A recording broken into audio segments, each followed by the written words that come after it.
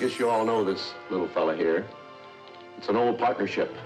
Well, first of all, there is a person. You know, a lot of younger people don't even know that there was a Walt Disney. It's just the name of a company, an enormous company. But there actually was a man. He's not a perfect person, but he's an incredible person. And he was incredibly passionate about his work. Hey, Poodle, here she comes! He had this little ability to draw. He had a knack.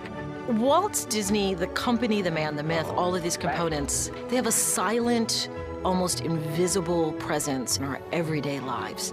Here's a man who affected popular culture in the 20th century, who changed the way we think about so many things filmmaking, animation, theme park design, urban design. I've spoken to a few folks who were there at the opening of Snow White. Amazingly enough, they were there sitting in the theater as a young child and remember being transformed. Now we want you to share with us our latest and greatest dream.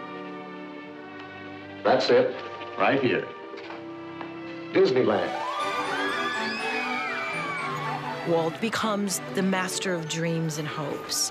He's actually an individual who could make your dreams come true. Bibbidi, bobbidi.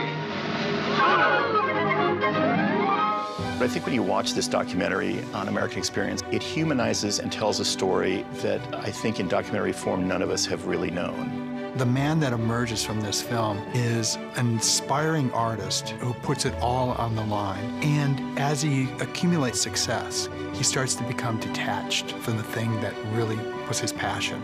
So I think it's a real cautionary tale about the price of success and empire.